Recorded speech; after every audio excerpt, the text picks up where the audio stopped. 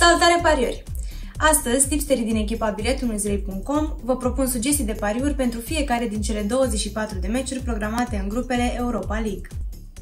Înainte să-ți spun pontul, îți recomand să variezi responsabil, nu mai mult decât îți permiți să pierzi. În disputa din Cehia dintre Liberec și Hoffenheim, Radu Opera este destul de sigur că nemții vor obține o victorie la pas.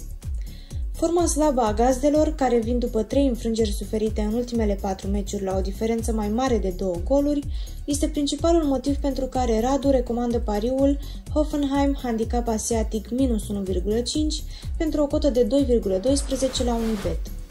Te invit să lași un comentariu cu pronosticul tău și să te abonezi la canalul nostru. Nu uita că pe biletul avem pronosticuri pentru toate meciurile de azi din Europa League.